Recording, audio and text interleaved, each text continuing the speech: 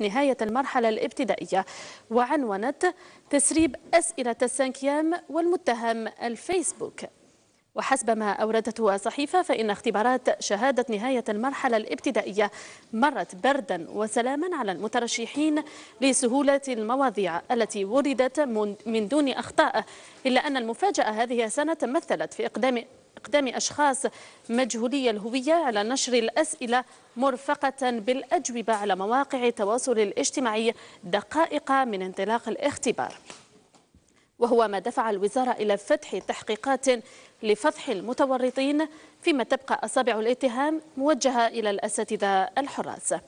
صحيفة الخبر تناولت الإضراب الذي شنه عمال المالية أمس وأكدت أن معدل بيع القسيمات قسيمات السيارات تراجع بأربعة أضعاف مع أول يوم من إضراب ثلاثة أيام.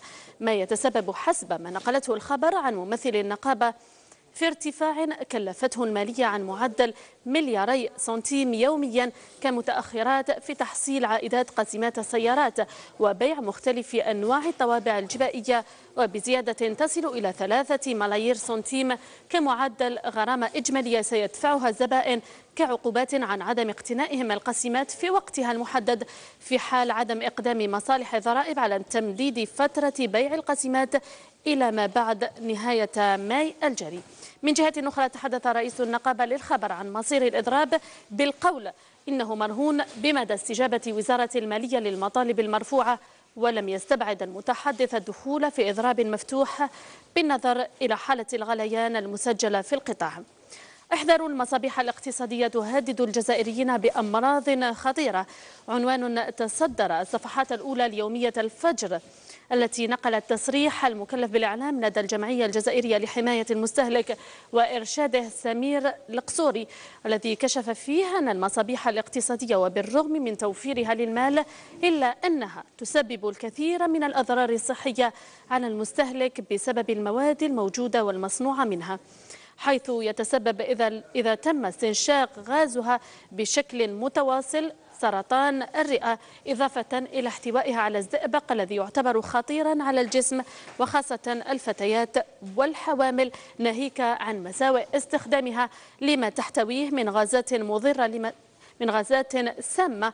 في وقت تصر الشركات المصنعة على استغفال المستهلك بعدم إظهار بعض المعلومات المتعلقة بقواعد الصحة العامة على العلبة الخاصة بها. لسواغ درجغي نقل تصريح وزير الخارجية الأسبق الأخضر الإبراهيمي الذي أوضح فيه أن الجزائر محصنة ضد التدخلات الخارجية والإضطرابات على الرغم من وجود محاولات في هذا السياق. وهو غير متخوف على الجزائر لكنه نبه وحذر في نفس الوقت من أثار ما جرى ويجري في المنطقة العربية منذ خمس سنوات. سيستمر على بلادنا التي لا يمكنها أن تعزل نفسها عما يجري حولها. تصريحات المبعوث الأممي والعربي سابقا إلى سوريا الأخضر الإبراهيمي جاءت خلال ندوة نشطها أمس الأحد بمجلس الأمة.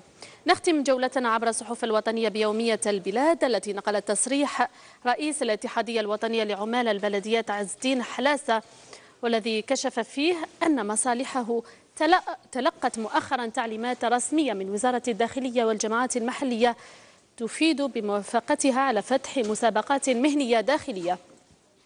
تخص العمال المتعاقدين بالقطاع إضافة إلى فتح الترقيات الداخلية يشرع في تطبيقها بداية من شهر سبتمبر المقبل.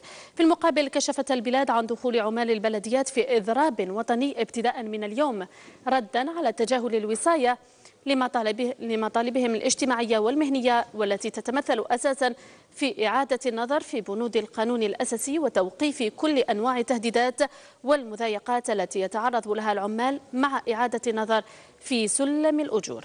ننتقل إلى الصحافة الدولية والتي نستهلها بالحياة التي عنونت رئيس البرازيل يعيد وزارة الثقافة بعد احتجاج فنانين. حيث نقلت الحياة تصريح مسؤول حكومي برازيلي والذي قال فيه أن الرئيس المؤقت ميشيل تامر سيعيد وزارة الثقافة اليوم الاثنين وذلك بعد إبداء بعض كبار الفنانين البرازيليين غضبهم من سياسته لدمجها في وزارة التعليم لتوفير النفقات لتوفير النفقات. قرار إلغاء وزارة الثقافة كان جزءا من حملة تامر لمعالجة العجز المالي الحكومي القياسي في البرازيل من خلال تقليص عدد الوزارات من 23 إلى 10 وزارات. وكان أحد أول الإجراءات التي أعلنها لدى توليه السلطة في الثاني عشر من شهر ماي الجاري. نختم جولتنا عبر الصحف الوطنية والدولية بالعربية الجديد التي تطرقت في عددها الصادر اليوم إلى الحملة التي أطلقها الناشطون ومغردون مصريون على مواقع التواصل الاجتماعي بعنوان مش نسينكم لدعم أسر المعتقلين المعتقلين خلال شهر رمضان المقبل. الحملة التي لاقت استجابة واسعة في الأوساط الشبابية في الثامن تم إطلاقها في الثامن عشر ماي وستستمر حتى نهاية الشهر. لتجميع مساعدات عينية لأسر مساعدات معتبرة لأسر المعتقلين. قال مطلقو الحملة للعربية الجديدة إن مساعدة آلاف المعتقلين على مستوى الجمهورية خاصة غير القادرين منهم حق على الجميع لافتين إلى ضرورة توفير أساسيات الحياة لأهلهم وتخفيف الضغوط الحياتية عنهم.